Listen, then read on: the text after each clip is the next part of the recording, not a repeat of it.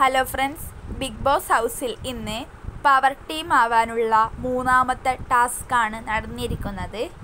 Team തണലും team power ഹൗസുമാണ് നേർക്കുനേർ. അതിനായി നമുക്ക് ബാക്കിയുള്ള ടീമിനും അവരെ സപ്പോർട്ട് ചെയ്യാം.